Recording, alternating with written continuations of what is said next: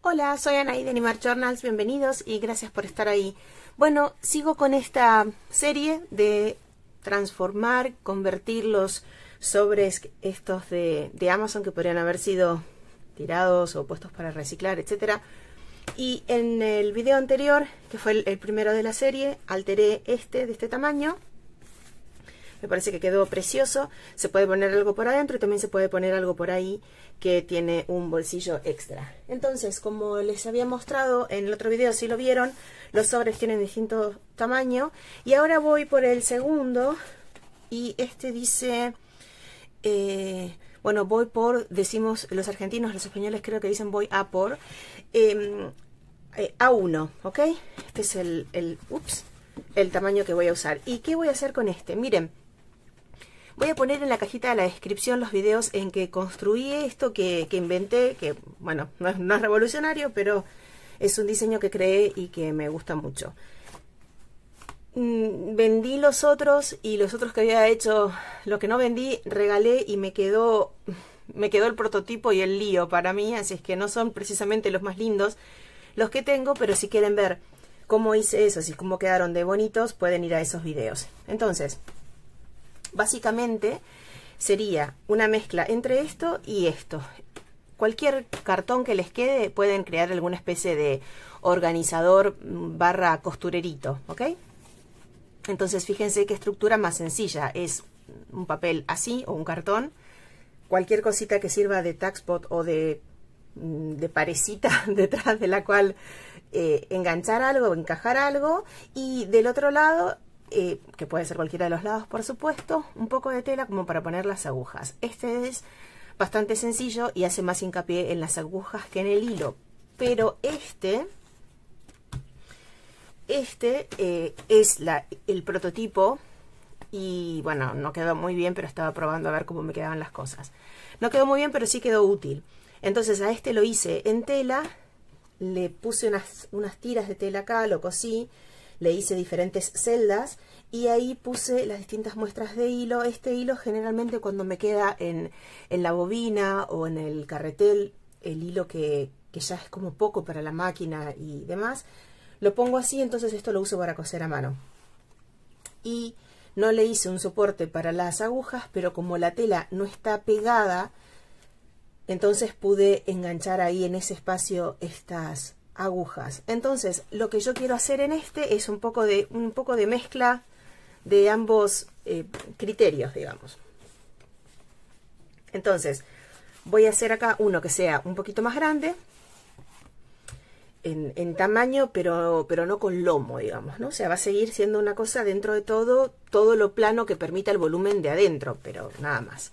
Tal vez igual le voy a poner un poquito más de, un pequeño fuelle de uno y uno acá, como para tener un poco de movimiento. Entonces mi idea es en la parte derecha ponerle unas tiras en donde sostener esas muestritas y en la parte izquierda poner dos cositas más. En la medida de lo posible, una que sea para sostener agujas y otra, voy a ver, voy a ver si, no creo que una tijerita, pero voy a ver si algún botón, alguna tarjeta de botones, que es otro proyecto que estuvimos haciendo hace un tiempo. Así es que alguna, algún otro detalle que quede, ah, este parecido, que quede bonito, ¿sí? Entonces, lo primero que voy a hacer va a ser sacarle esto y esto, porque no lo voy a necesitar, y esto sí lo voy a necesitar, porque en realidad el sobre es así, ¿no? Esta va a ser mi solapa. Mm, la solapa, al igual que la otra solapa que, que, usé en el otro sobre, tiende a abrirse, tira como para el otro lado. Entonces, eh, eh tengo dos opciones básicamente. Bueno, hay más opciones, pero se me ocurren dos. La primera es cortarlo.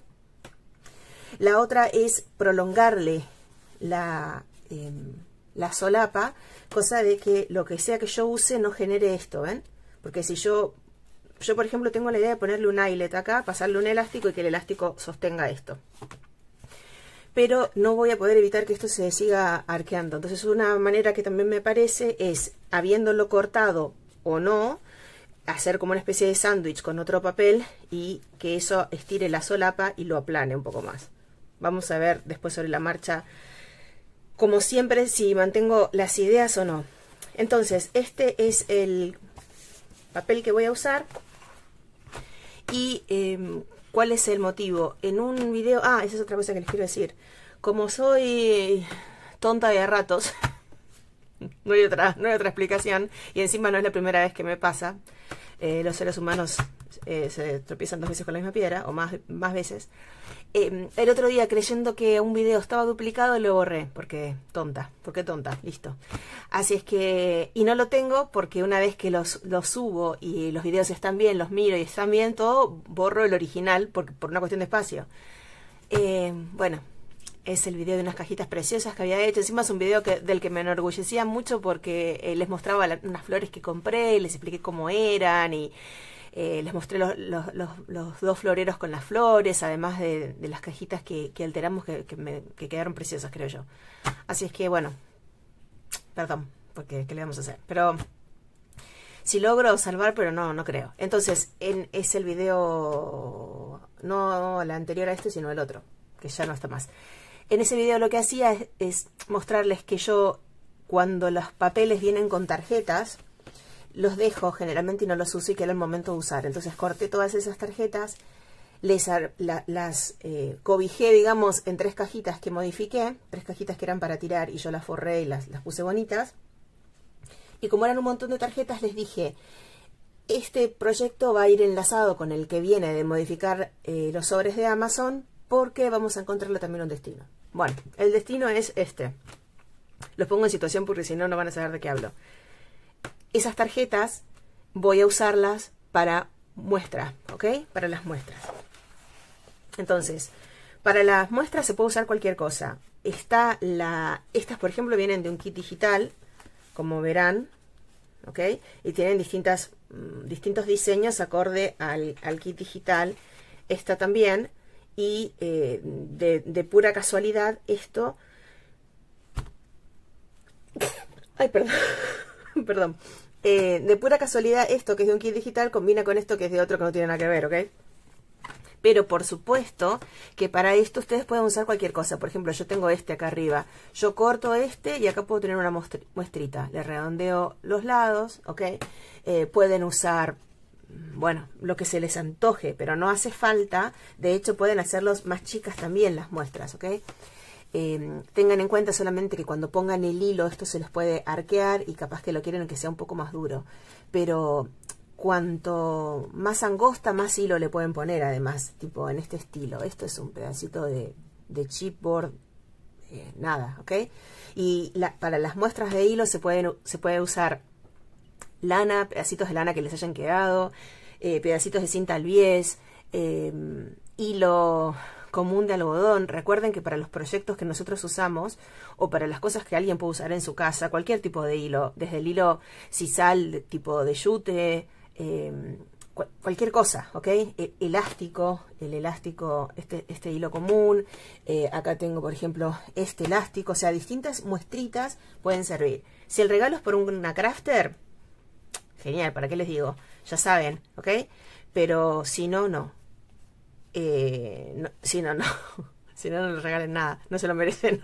No, les quiero decir que si no puede ser más difícil pensar, uy, ¿para qué lo puedo usar? Pero generalmente podemos usar para todo. Fíjense, esto es en teoría una semi-antigüedad, digamos, y eh, que es de, de, Francia. Y fíjense, este, este no es de acá. Yo digo, ¿qué hace este? eh, y esto un poco se inspira en este tipo de cosas, ¿ok? Muy bien. Entonces, habiéndoles dicho eso, vayan juntando todo eso que tienen por ahí alrededor, aunque no sea para regalar. O sea, yo, lo pienso para regalar, pero este es para mí, ¿ok? Si es para ustedes, mejor. Le encuentran un destino a todos esos hilitos que tienen por ahí. De hecho, eh, como van a, pueden ver en mi otro video, los tengo por gamas, eh, algunos y demás. Entonces, voy a cortar esto, voy a cortar esto y vamos a empezar por reforzar, ya saben que siempre, eh, y no me, no me, voy a cansar de, de decirlo porque mm, el público se, se renueva, siempre digo lo mismo. Tengan en cuenta que nosotros estamos reutilizando cosas, pero que las cosas no eran para esa finalidad inicial. Esto lo voy a ir a cortar después con la guillotina, cuando corte el papel.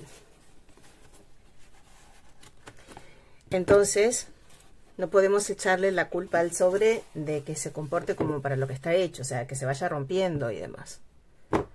Por lo tanto, vamos a fortalecerlo. Y mientras lo fortalezco, les digo algo. Yo estaba eh, dudando primero entre hacer eh, la tapa de papel o hacerla de tela. Como es un tema de costura, genial sería también, por ejemplo, usar una tapa de tela. Agarrar cualquier tela que tengan dando vuelta por ahí, poner acá un poco de pegamento y ya, ¿ok? Un poco de pegamento, ponen la tela, cosen alrededor y ya tienen la tapa de tela. También le pueden eh, agregar en, un criterio parecido a las bolsitas que hicimos con el jean, le pueden agregar un bolsillo a la tapa, le pueden agregar un aplique, o sea, ahí ustedes saben para dónde van, ¿ok? Pero yo preferí trabajar con papel. Entonces, voy a fortalecer esto con esto. Recuerden que también suelo decirles que pueden usar la cinta scotch, una cinta aisladora, eh, la, cinta de pintor. Eh, la única función de eso es que, que, el cuarteado de la de acá no lastime, o sea, no termine separando las cosas. Por lo tanto, no importa si tienen una cinta de pintor que no es de muy buena calidad o con tal de que no se mueva y que quede adherida, ya va a lograr el efecto de sostener ambos lados al abrir y cerrar. Entonces,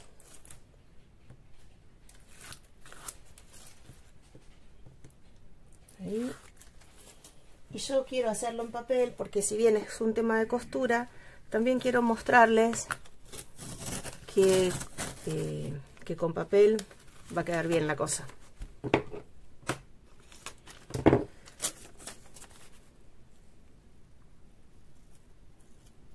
porque tal vez quieren organizar las cosas de coser a mano, pero no se dan maña con la máquina. Entonces vamos a hacerlo con papel, que ya estuvimos trabajando con, con tela. Vamos a,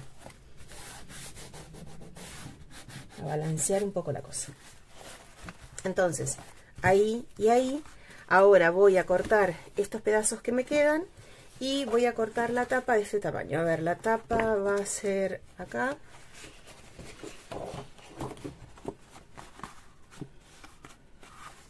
y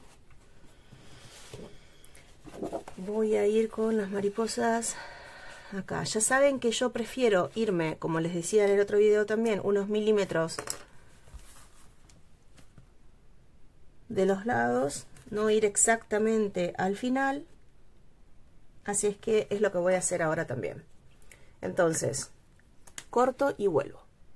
Un comentario, ahora que fui a, a cortar esto, eh, cuando puse el papel arriba, acá, me di cuenta que los bordes son un poco mm, desprolijos, digamos, para mi estilo de poner las cosas un poquito más pequeñas y no querer cubrir exactamente el borde. ¿Ven? Así lo doble para un lado o para el otro, se ve esta terminación. ¿Ven? Esta terminación así feita. Y de este lado también. Entonces, lo que voy a hacer para resolver esto, lo que estoy haciendo, es poner una bifaz de un lado y otra bifaz del otro y poner esto. No solo va a dar una terminación más prolija y menos cortante, digamos, acá, sino que además me otorga esa prolijidad y, una textura extra, porque además esta tiene, ¿ven? Se ve que tienen como una, una nervadura, no sé si, si se ve pero tiene como unas nervaduras, ¿ok? Entonces además da un poco de textura, por lo tanto voy a aplicarla a todo el contorno. Bueno, ya puse la cinta alrededor. Este es un proyecto muy sencillo, creo yo, eh, pero hay algunas cosas, algunos detalles que tienen que parar a pensarlos antes de, seguir, digamos. A mí me hubiese gustado que me hiciesen estos comentarios que yo les voy a hacer cuando estaba haciendo los prototipos porque me hubiese ahorrado mucho tiempo. El primero es que cosido todo queda más lindo, a mi criterio, cada uno con su opinión. Eh, a mí me parece que cosido queda más lindo, pero tengan en cuenta que según qué es lo que vayan a coser, hay un orden, eh, como, como siempre hablamos, porque la costura va a aparecer por el otro lado de las cosas, ¿ok? Entonces, si yo, por ejemplo, pego la tapa acá y decido que le voy a coser un cuadrado eh, con una etiqueta, tengo que pensar que eso va a aparecer por este lado, ¿ok? De la misma manera, si las fajas detrás de las que, o, como le, llamen, las tiras detrás de las cuales yo voy a poner las muestras, también las quiero coser con separaciones, por ejemplo, como yo cosí con la tela, tengan en cuenta que es algo que tienen que hacer antes de poner el papel acá, porque si no, toda esa costura les va a, aparecer por este lado. De la misma manera, tengan en cuenta que si ustedes hacen esas costuras y después lo que van a hacer es poner tela acá, tal vez necesiten tapar las costuras con un cartón o algo y después poner la tela porque si no esa costura se puede mm, puede molestar, por decir de alguna manera, por debajo de la tela. Entonces son todos detalles que uno tiene que pensar y decir, a ver, acá quiero coser, acá no, o sí quiero coser, pero quiero disfrazarlo de manera tal que no me complique. Después, una vez que hacen uno, se van a dar cuenta y van, van a ir eligiendo, pero piensen porque a veces hasta ese uno les puede quedar mal y es una pena de, de, de, desperdicio, digamos, pero ya van a ir encontrando su, su manera. Entonces, eso es lo de la costura. Y la segunda cosa que también quisiera que pensasen, que son aclaraciones que probablemente ya he hecho en el otro video, pero como ya hace bastante tiempo no me acuerdo, eh, pero se los digo por si, por si no lo vieron o no lo van a ver. Y es el tema de las muestritas. Entonces, em, elegir el tamaño de la muestrita primero. ¿Por qué? Porque la muestra, con la muestra me refiero a, esto, al sample, a la, a la muestra donde se va a poner el hilo. Digamos, a ver, acá. Déjenme agarrar esta. Entonces, no es lo mismo envolver el hilo, la lana, lo que sea, llamémosle hilo. No es lo mismo envolver el hilo en algo que tiene este tamaño que en algo que tiene este tamaño que en algo que tiene este tamaño, ¿ok? Y estas cosas no solo tienen que ver con su decisión, sino también con el espacio. Entonces, este es el espacio en donde yo voy a ubicar estos cuatro. Yo elijo que mis muestrarios sean estos cuatro. Estas son más bien tarjetitas como journaling cards y demás. Y quiero con esto matar dos pájaros un tiro, digamos. O sea, como en el caso de los señaladores plastificados, puse la washi alrededor, cosa que cuando se termina la washi me queda el, señalador. Acá, una vez que se termina la muestra, me puede quedar la tarjeta.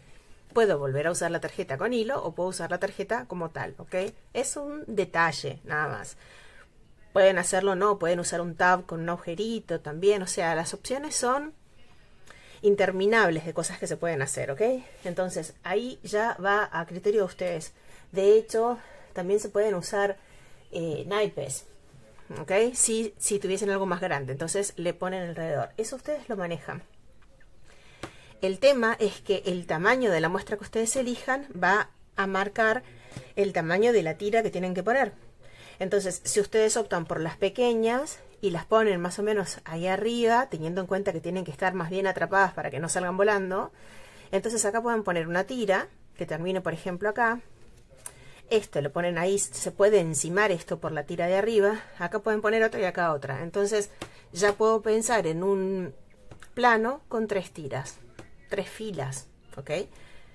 cuando, por ejemplo, si yo voy a poner estas cuatro, no me queda otra que poner dos nada más. Entonces, el tamaño de la muestra va a determinar esto. Uno puede decir, ah, bueno, no me importa, es para mí, yo pongo unas tiras nomás y después total, envuelvo en cualquier cartón. Eh, fantástico. O sea, no, no hay problema si es para uso personal, yo también lo haría así, lo haría más bien libre y después veo qué tengo, qué envuelvo y ya me tranquilizo. Pero estamos pensándolo de una manera como un poco más prolija y, más, y mejor pensada por si se lo, quise, se lo quisiese dar a alguien, ¿ok? Entonces, en mi caso van a ser estas cuatro. Y hay otra cosa que también les quiero comentar, que es que yo al principio ponía la tira, decía, ah, no me importa, por ahí quiero usar cositas de estas de distinto tamaño. No me importa, pongo la tira, supongamos que la tira es esta. Vamos a buscar una menos dramática. eh, estas son algunas de las cosas que yo digo que hay que pensar, digamos, las decisiones que hay que tomar antes de avanzar con el proyecto. Entonces, bueno, yo pongo una tira chica. Pongo una tira chica, así me entran más. El problema de la tira chica, primero, es que... Ah, bueno, y, y, lisa. O sea, sin, sin agarrarla por atrás. Error. ¿Por qué? Porque queda mucho de la muestra por arriba, termina volando, se cae, se mezcla, se encima, se mueve. Fail. No, no, no, no funciona. Entonces, y uno puede decir, ah, eso se resuelve si yo la tiro la hago más grande. Entonces ahí sí va a quedar atrapado. Claro, queda atrapada, pero queda tan atrapada que no ves el color que tiene la muestra. Entonces ni chicha ni limonada, ¿ok? Entonces, la mejor opción que yo encontré no tiene tanto que ver con el tamaño de la tira, aunque esta es muy fina y esta es muy grande, sino con separar las celdas. Es un poco inconveniente, tiene sus pros y sus contras. La contra es que después vas a tener que meter en cada celda algo del tamaño que te fije la celda, pero el pro es que no se salen. O sea, cuando cada cosita tiene su lugar, enganchan mejor. Mi, eh, mi consejo sería que, que la dividen en celdas. Y la otra cosa que les quiero decir es que no, no sean demasiado, no anden demasiado cortitos con, miren, por ejemplo, yo digo, bueno, acá, yo voy a poner estas dos acá, así es que acá corto la tira, le pongo pegamento por acá, por acá y por acá y por acá, entonces ya me quedan las celdas, y así. Eso sería en la foto perfil, pero en la juntada le vemos la cara diferente a la cosa. ¿Por qué? Porque una cosa es meter esto acá plano y otra cosa es, es meter esto o más volumen. Ya cuando tenés esto, ya la cosa cambia, porque esto está fijo y ¡apa! ¡Qué macanita me mandé, eh! Porque claro, ahí, ahí ya es como que, ay, para, a ver, ah. Y lo que va a pasar cuando empiecen con esa puja es que el pegamento que le habían puesto acá, o el que le habían puesto acá, o ambos, se les va a empezar a despegar. Y ahí estamos, ¿ok? Entonces, algunos de los consejos, hagan la celda lo suficientemente grande no solo en función del tamaño de esto, sino también en, función del tamaño de lo que esto puede llegar a crecer cuando le pongan las cosas, porque no es un bolsillo para algo plano, es un bolsillo para algo con volumen. Por eso pensar en una tira de tela es genial, porque la tira de tela, al ser más bien elástica, aunque no sea tela elástica, pero la tela permite un movimiento bastante más amigable de volumen. ¿Ven? Porque quiera o no, esto va a crecer un poco más. ¿Ok? Estas, si bien la terita es súper chiquita, no se salen ni se mueven porque cada uno tiene su celda y entonces queda agarradita. ¿ok? Así es que ya les digo, son bastantes cosas, digamos, pero en virtud de todo lo que les comento, ustedes pueden decir, ah, la verdad que yo directamente me tiro para la tela.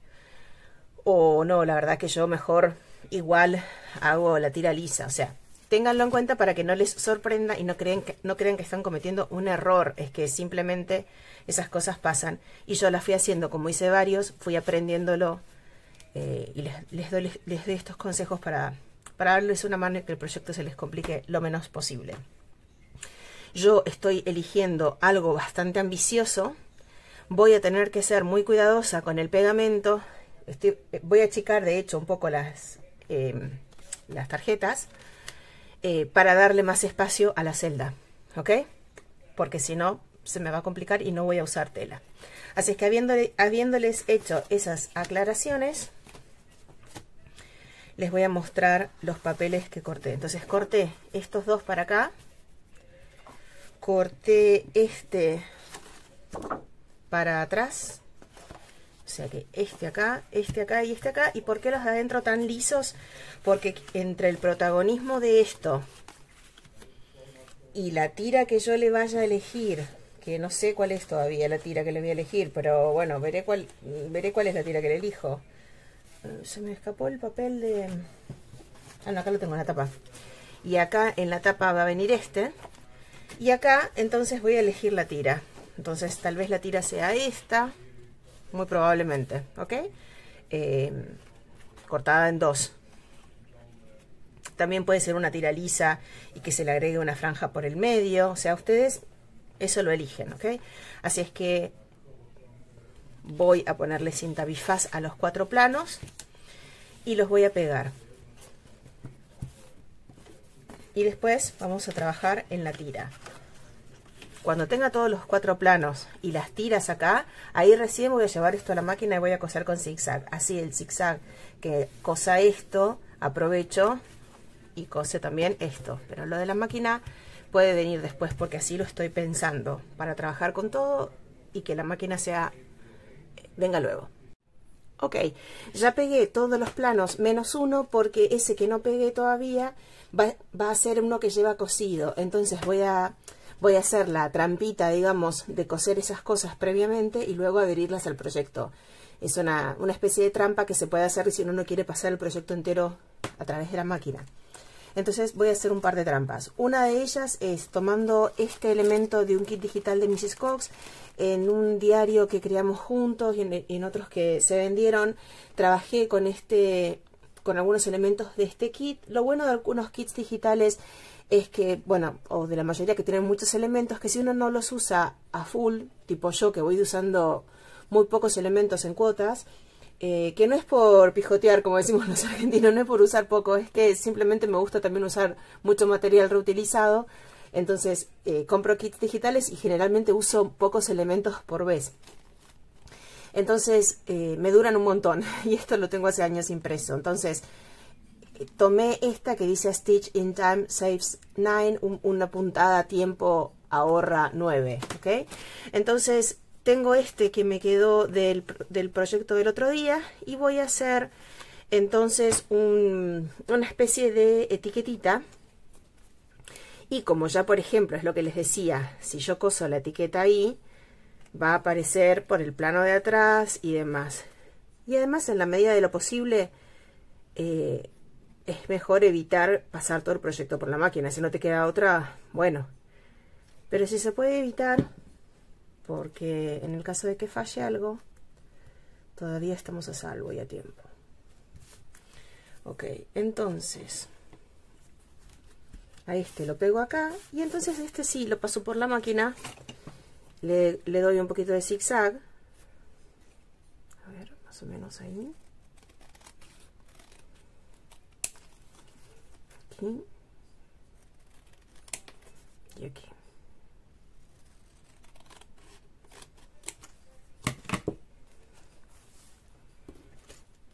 entonces este vendría me parece que esto está un poco torcido ahí está ok entonces le pongo un poco de distress alrededor y este sí lo llevo a la máquina le doy un zigzag que comunique este con este por el borde y ahí ese sí lo pego acá y esa va a ser la portada la voy a poner un poco para arriba porque como acá en teoría tengo pensado que un elástico cierre, no quiero que el elástico moleste. Entonces este va a ir ahí una vez de que lo, que lo cosa. Puse este por acá atrás y este por acá. Ahora también corté este de acá, le puse distress alrededor, a todo le puse distress alrededor. Entonces yo probé primero por abajo. ¿Estoy en plano? Sí. Entonces, primero el de abajo, porque el de abajo va a venir abajo. No abajo de todo, porque le voy a dejar un poquito de juego para la puntada. ¿Ok? Y entonces lo que voy a hacer ahora es ponerle un, un toque de pegamento. Y les voy a decir por qué voy a optar por el cosido. Un toque de pegamento como para que simplemente eso no se me mueve ahora cuando lo cosa. Entonces voy a presentar este acá, más o menos. Voy a presentar este acá. Y ahora vengo con el de arriba. Al de arriba le voy a poner pegamento acá. Un, un toque, ahí, nada. Esto lo voy a bajar a esto los voy a presentar ahí yo quisiera, quisiera que no se fuesen más arriba que eso porque también les dejo un poco de juego por si se levantan para que no se salgan y a este entonces yo creo que ahí ya estaría bien ok a estos los achiqué para que me quede más espacio. Y ahí viene la explicación, o sea, los angosté, mejor dicho. Y ahí viene la explicación de por qué voy a coser. Voy a coser porque eh, por la boca de mi, lápiz, de mi mm, pegamento, perdón, por más finito que lo quiera hacer, no me va a quedar tan finito. Sin embargo, la costura es algo que va a unir, pero que a la vez tiene tan poca dimensión, digamos, tan poca longitud, que queda tan cerquita del borde que me va a permitir ponerle más adentro, ¿ok? más espacio a la celda. Por supuesto que uno también puede decir, no, yo no voy a hacer celdas, lo dejo así y que se muevan y que se encimen y que se corran y que me dé más libertad de poder usar cosas, ya lo hablamos. Cada uno eh, lo, que le, lo que le parece en ese sentido, ¿ok? Así es que yo voy a coser estos. Entonces, acá viene la segunda trampa, porque voy a coserlos primero así. Y una vez que ya está, voy a poner este adentro y el otro. Voy a calcular más o menos por dónde tiene que venir esa costura, que sería más o menos por acá. Y ahí le voy a dar la costura por el medio. Y acá con la regla, a ver,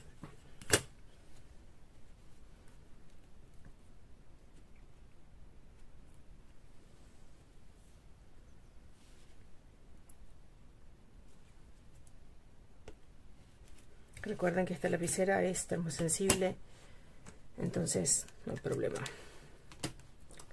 Entonces coso ahí y coso ahí. Acá también le podría poner algo de, fondo, pero no tiene sentido porque se va a topar con esto. Y una vez que eso está cosido, ahí sí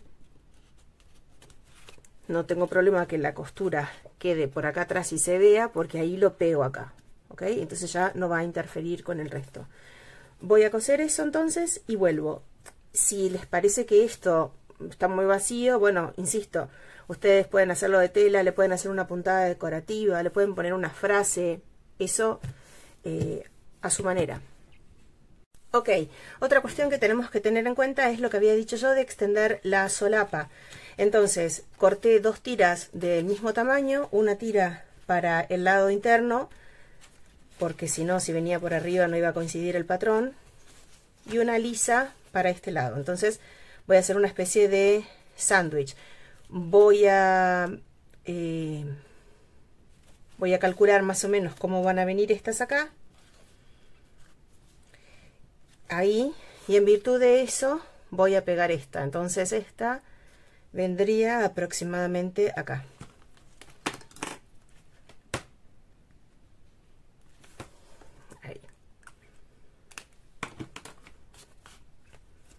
Ahí está, le puse este que es más fácil de sacar.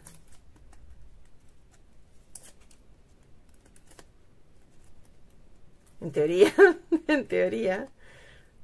Ay, este se me hizo lío. Y este. Muy bien. Así es que este viene aquí. Perfecto y ahora le voy a poner bifaz a estos dos para ponerlos ahí como en sándwich y a este entonces ¿Cómo lo cosí? Lo cosí acá para que este no se mueva, lo cosí acá con un zigzag, dejé este lado y dejé este lado y dejé este lado porque acá va a venir todo un zigzag. Entonces no quería que se me encimaran las costuras, por lo tanto este y las divisiones. Este no porque también va a venir con ese. ¿Se acuerdan que lo había dejado un poco más largo a propósito?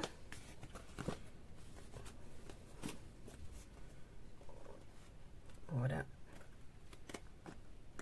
corto ese ahí y este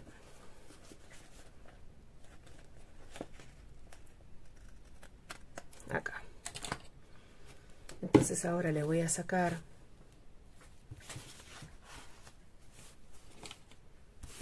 esto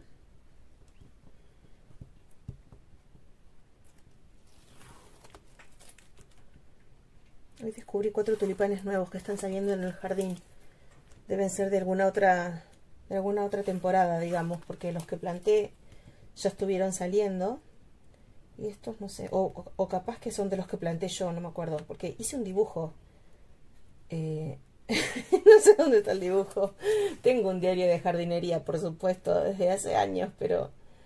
Eh, yo digo, no sé dónde está el dibujo y seguro que abro el diario de jardinería y lo tengo ahí porque me doy menos crédito del que debería darme, pero cuando planté los tulipanes dibujé el jardín y dibujé las macetas y puse dónde los planté como para tener una idea de si salen o no salen. Y son todos en la gama del rosa, así que tal vez... A ver, déjenme ver acá. Eh, falta uno ahí. Casi hago macana. Casi hago macana. Y casi hago macana también porque le voy a poner un poco acá. ¿Está bien este?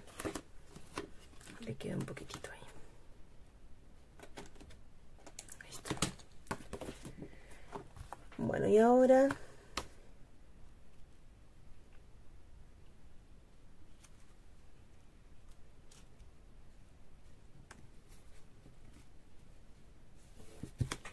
Muy bien. Ahí esos pliegues de más que tienes porque le hice con la con el board, le marqué de, de plegar, le puse así unas líneas como para hacer un pequeño fuelle, ¿ok? Entonces acá va a venir todo un zigzag, acá también, que va a agarrar también esto y esto. Ah, y acá le podría haber puesto también, déjenme ver, acá a través del ojo de la aguja. Y le voy a poner lo mismo. Bueno voy a hacer lo mismo que vieron que hice con el otro. Voy a cortarle un marquito y lo voy a poner acá. Perfecto entonces este ya está ese va a venir acá acá tengo que poner estos si es que voy a pegar estos dos así uno por aquí uno por aquí y le voy a poner el eyelet con el elástico. Ok, entonces envolví ya en estos alguna mm, hilito, lanita y, demás. Este parece como un hilo perlado de bordar a máquina. Y ahora cuando el, el, papel, digamos, de la muestra, yo no lo, no lo agarro con algo, pero ustedes lo pueden agarrar. Cuando el papel de la muestra con washi o algo es eh, así blandito, medio flexible, es muy probable que se doble. O sea, hay que dejarle el hilo como muy flojo para que no se doble. Pero a veces cuando el hilo queda muy flojo no queda lindo y tendemos, o yo tiendo, a apretarlo un poco. Y ahí es cuando se arquea un poco eh, la muestrita, digamos. Cuanto más fino sea el hilo, por supuesto, más van a poder poner pero también pueden eh, optar por poner la muestra más angosta para poder poner más. Entonces, si yo pusiese dos angostitos ahí, dos como bastoncitos de cartón, le, le podría poner más. Probé con lana, pero hacía crecer mucho la muestra y ocupaba mucho lugar en la celdita y ya casi como que no entraba. Entonces, eh, lo saqué. Pero si fuese, por ejemplo, esto de tela, de lana serían más, más cómodos. Entonces, no quiero hacer todo fuera de cámara. Y por eso quiero hacer este último con ustedes. Pero esto es bastante, bastante, bastante claro, digamos, y bastante sencillo. Este es el procedimiento que, que seguí. Simplemente envolví. También, si es para ustedes, eh, pueden ir poniendo muchos hilos distintos en la misma muestra y van usando si es para coser a mano. Y muy bien, entonces acá están estos cuatro. Acá hice lo que les dije, ¿ok? Corté siguiendo esto y le hice toda la costura alrededor. Ahora pensé qué hacer para aquí y para aquí. Entonces lo que voy a hacer es hacer dos mm, bolsillos flotantes, digamos. Se le, le dicen belly bands a estos también. Entonces le voy a poner, estas son las que me quedaron de acá creo. Simplemente les voy a poner distress alrededor, a esta,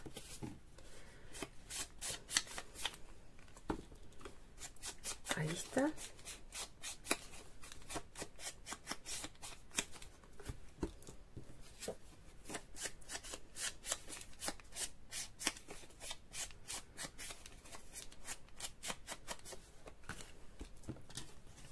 Entonces, déjenme ver, acá le tengo que poner aproximadamente ahí y aproximadamente ahí. El pegamento.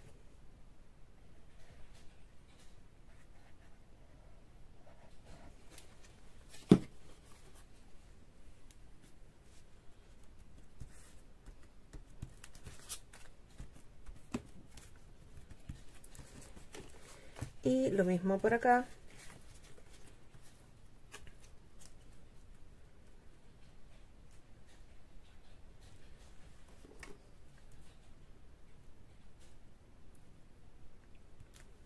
El otro día me compré un libro, yo tengo una cuenta que se llama Animar Libros, en donde subo algunos de los libros que voy leyendo.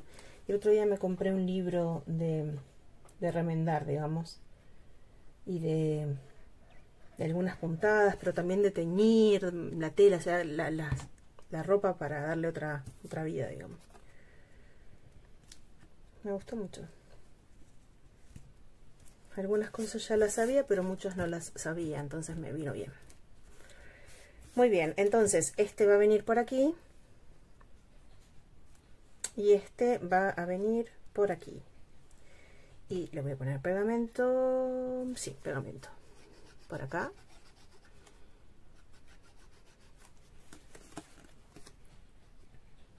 Y por acá.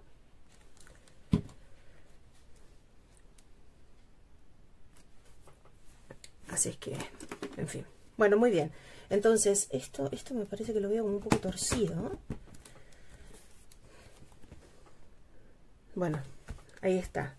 Y acá, entonces yo lo que pensé es que acá le puse unas agujas. ¿Cómo hice esto? Bueno, este en realidad eh, tiene esto que se despega y que se puede pegar en algún lado. Pero yo lo voy a dejar así. En Argentina le decíamos pañolensi, o no sé si todavía se le debe decir cuando yo era chica a este material que se parece. Parece como un fieltro, creo que sería la palabra adecuada, no sé, algún material así. Pero no hace falta que sea esto. Yo de hecho lo compré este autoadhesivo hace mil años no sé dónde y no, no he visto, no he vuelto a ver. Pero yo creo que cualquier tela que ustedes tengan, cuanto más gruesita mejor, pero cualquier tela que ustedes tengan, que yo ya he probado la técnica, digamos, cualquier tela que ustedes tengan y ustedes toman un rectángulo y cosen o pegan la tela así solamente y la dejan hueca, eso permite enganchar las agujas sin ningún problema. O sea, esta da como más estilo alfiletero, pero insisto, cualquier tela que ustedes tengan que cosan solamente los lados y la dejen con aire adentro, eso les va a permitir eh, enganchar las agujas y que se metan por adentro y salgan así sin inconveniente, ¿ok? Entonces yo este ya lo tenía otro proyecto, simplemente cosí acá y acá como para que las agujas puedan meterse. Y lo que pensé es ponerlo ahí, porque como el fucsia no condice, digamos, demasiado con el proyecto, el negro combina un poco mejor. Entonces de esta manera como que lo escondo, tampoco pasa nada, pero bueno, como que lo escondo, ¿ok? También tengan en cuenta eso, que si ustedes son como más, más, más friki de la combinación, que lo que sea que vayan a usar, después piensen que tiene que coordinarles en cierta manera con los colores. Si es su manera de ver las cosas, si no, no sea problema. A este lo dejo vacío por ahora, se le puede poner, insisto, algo de botones, se le puede poner un pedacito de, tela, se le puede poner una bolsita de tela pequeñita y adentro ponerle, por ejemplo, un alfiler de gancho, uno de esos cositos que no sé cómo se llaman, que son para cuando coses mal, Em, alguna bolsita pequeñita así con botones, ¿ok? O sea, cualquier cosita puede ir ahí de, sorpresita, ¿ok? Em, ahí la imaginación de, ustedes es, es el límite. Y, o, no sé si la imaginación o los medios, ¿ok? Entonces, esta la vamos a cerrar acá. A esta le voy a poner... Mm, ahí y creo que no traje elástico. A ver si, si esto combina con el elástico. Esperen que yo tengo por acá, creo, el elástico naranja. Sí. También puede ser un elástico negro, pero como tengo este naranja acá, Entonces, y le voy a poner uno de estos, creo que este.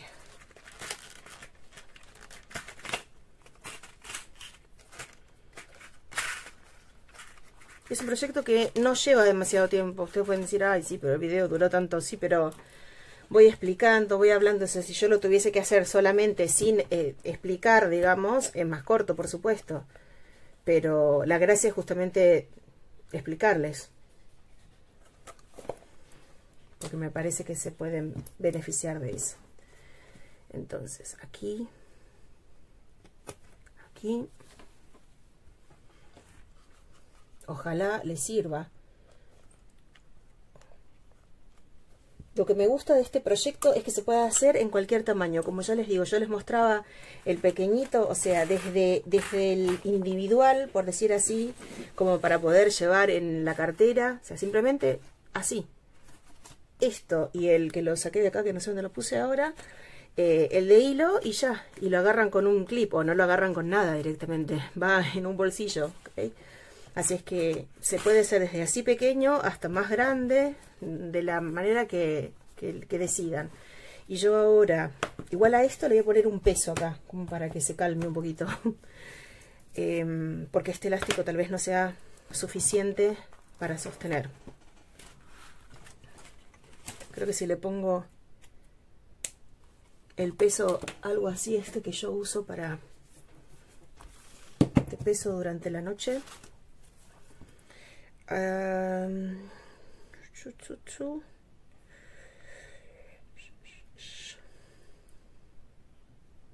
Aqui.